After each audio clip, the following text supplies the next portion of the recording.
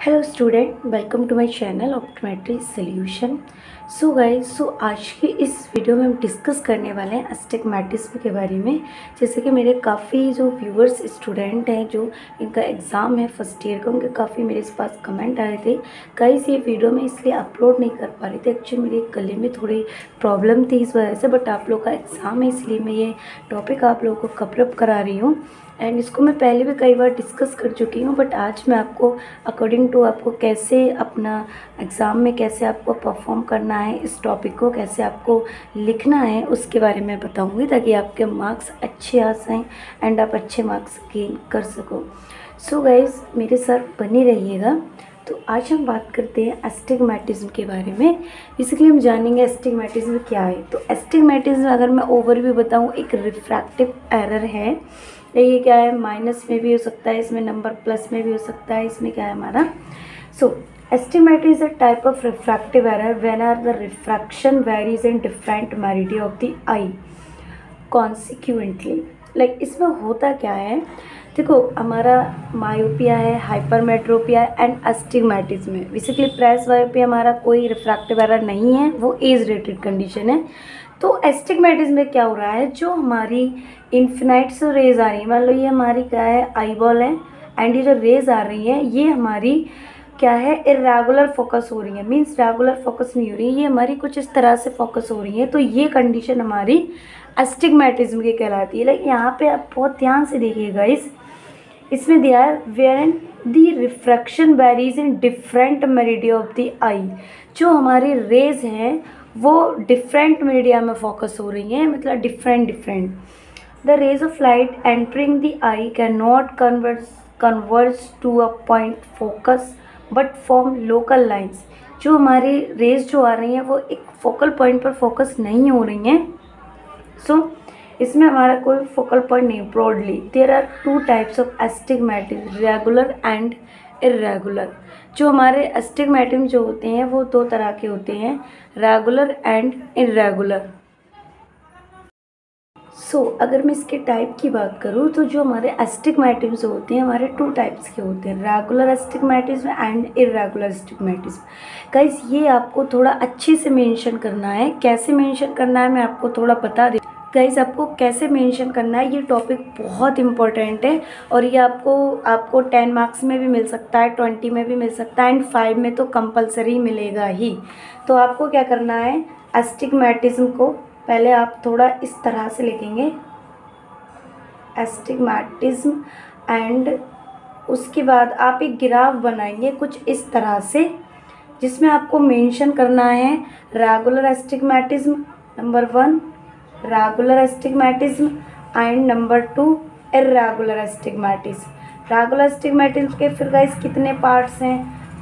And irregular astigmatism के कितने part हैं, उनका भी आपको ग्राफ बनाना है। लेकिन गाइस ध्यान रहिए ये ग्राफिकल आपको जब यूज़ करना है इस ग्राफ को, जब आप क्या है ट्वेंटी मार्क्स का अगर एस्टिगमेटिज्म कंप्लीट करते हैं, क्योंकि आपको ये ट्वेंटी मार्क्स में भी मिल सकता है एंड फाइव मार्क्स में भी मिल सकता है। अगर फाइव मार्क्स में आता है तो आपको केवल एस्टिगमेटिव्स की डिफाइन लिखनी है रेगुलर एस्टिगमेटिव डिफाइन करना है एंड इरेगुलर एस्टिगमेटिज्म डिफाइन करना है। अब मैं बात करती हूँ रेगुलर एस्टिगमेटिज्म तो रेगुलर एस्टिगमेटिज्म क्या होता है?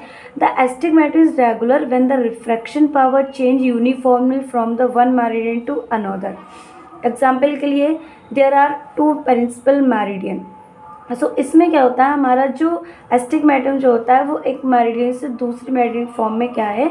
एक तरह से देखने को मिलता है। सो so, यहाँ पे जैसे इन्होंने मेंशन किया है। अब मैं इसकी इटियोलॉजी की बात करें तो ये corneal astigmatism lenticular astigmatism and retinal astigmatism भी हो सकता है। ये कैसा होता है? इसमें क्या है हमारा? कॉर्नल एस्टिगमेटिम्स क्या हो रहा है? It is the result of abnormalities of the curvature cornea and it constitutes the most common cause of astigmatism ये जो एस्टिगमेटिज्म देखने को मिल रहा है, वो कॉर्नियल कर्वेचर एबनॉर्मलिटीज़ की वजह से मिल रहा है। जो कॉर्निया के कर्वेचर में जो हमें एबनॉर्मलिटीज़ मिल रही हैं, उस वजह से। उसके बाद हमारा लेंटिकुलर एस्टिगमेटिज्म ये हमारा बहुत रेयर होता है।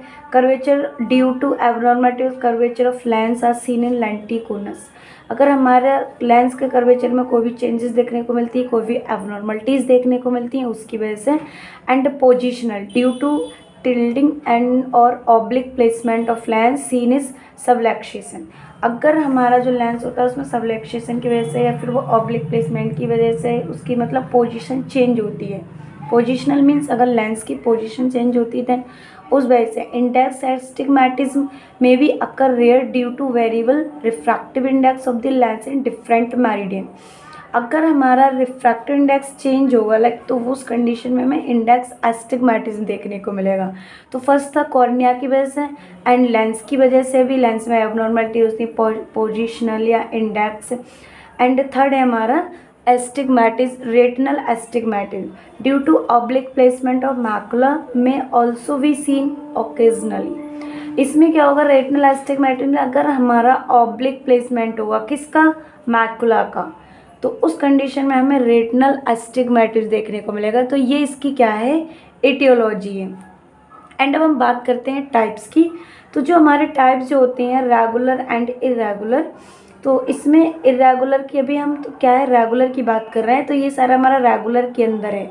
अभी हमारा इरेगुलर वाला पूरा है। जैसे फॉर एग्जांपल कैसे है, अगर हमारा ये हमारा रेगुलर हो गया एंड ये इसकी एटियोलॉजी हो गई, ठीक है? एटियोलॉजी में पहला था हमारा किसकी वजह से देखने को मिल रहा था हमें? कॉर्नल एबनॉर्मलिटीज़ की वजह से। एंड सेकंड हमें लेंस की वजह से। चाहे लेंस में सबलेक्शन हुआ है या लेंस इंडेक्स में हुआ कॉर्निया में कर्वेचर की एबनॉर्मलिटीज़ एंड उसके बाद हमारा थर्ड रेटनर की वजह से, ठीक है? तो ये हमारा रेगुलर की इटियोलॉजी हो गई। अब हम बात करते हैं टाइप्स ऑफ़ रेगुलर एस्टिगमेटिज्म ठीक है तो रेगुलर एस्टिगमेटिज्म हमारे कितने टाइप्स के होते हैं? कुछ हम ज़्यादा टाइप्स होगा इस तो इस तरह का ग्राफ बनाए। देखो, इससे भी बहुत फ़र्क पड़ता है, अच्छे नंबर गेन करने का एक बेस्ट तरीका है। तो इसमें हमारा जो रेगुलर एस्टिगमेटिज्म में फ़र्स्ट है हमारा देखो रेगुलर जो हमारा रेगुलर एस्टिगमेटिस में क्या होता है? Depending upon the axis and the angle between the two principal meridian regular astigmatism can be classify ठीक है तो फ़र्स्ट है हमारा विद द रूल एस्टिगमेटिज्म इसको हम डब्ल्यू टी आर बोलते हैं. In this type of two principal meridian are place at right angle to one another but the vertical meridian is more curve than the horizontal इसमें क्या होगा हमारा जो दो मैरिडियन होंगी, वो कर्व होंगी एक तरह से, एक ज़्यादा होगी, एक कम होगी. This correction of this astigmatism will be required to convex cylindrical lens is one degree and concave cylindrical lens is at 90 degree तो एक हमारा 180 हो सकता है एंड एक हमारा 90 डिग्री हो सकता है। तो इस this call is with the gas आप क्लियरिटी से देख पा रहे हैं। रू with the rule astigmatism because similar astigmatism condition exist normally so इसमें हमारा क्या है? माइनस का हम माइनस प्लस का पॉइंट टू फाइव डायप्टर भी ले सकते हैं, इससे ज़्यादा भी ले सकते हैं कॉन्बैक्स में and horizontal meridian probably the pressures of eyelid then second है हमारा अगेंस्ट द रूल एस्टिगमेटिव ये था हमारा with the rule astigmatism against the rule astigmatism oblique astigmatism and bi oblique astigmatism तो हमारा अगेंस्ट द रूल एस्टिगमेटिज्म में क्या है? Refer to an astigmatism condition in which the horizontal meridian is more curve than the vertical meridian उसमें क्या था हमारा? Vertical meridian is more curve than the horizontal meridian same है हमारा, एक 90 डिग्री आ रहा था हमारा, एक 180 डिग्री आ रहा था. प्लस माइनस इसको करेक्ट कर सकते हैं. थर्ड है हमारा oblique astigmatism This type of regular astigmatism where the two principal meridian are not the horizontal and vertical तो इसमें क्या है? इसमें हमारा ना ही कोई हमारी हॉरिजेंटल या वर्टिकल में जो दिया है there are right angle one and another हमारा राइट एंगल भी हो सकता है so forty five and one thirty five bi oblique में क्या है? In this type of regular astigmatism is two principal meridian are not at the right angle to each other example one में भी thirty degree and one hundred degree तो इसमें हमारे जो astig with the rule astig regular वाले में क्या था हमारा? With the rule astigmatism and against the rule astigmatism bi oblique and last वाला जो था गाइज़ हमारा वो था ऑब्लिक एंड बाई ऑब्लिक ठीक है? ऑब्लिक एंड वाई ऑब्लिक इस तरह से हमारा ये पूरा कवरअप हो गया। एंड सेकंड पार्ट हम जो सेकंड इरेगुलर है, वो नेक्स्ट पार्ट में डिस्कस करेंगे। तो गाइस अगर आप ये क्वेश्चन आपका हंड्रेड परसेंट मिलेगा तो इसको क्या है, पूरा प्रॉपर रेडी करके जाइएगा। इससे रिलेटेड कोई भी क्वेश्चन है तो मुझे कमेंट बॉक्स में कमेंट कीजिए। Thank you so much for the watching video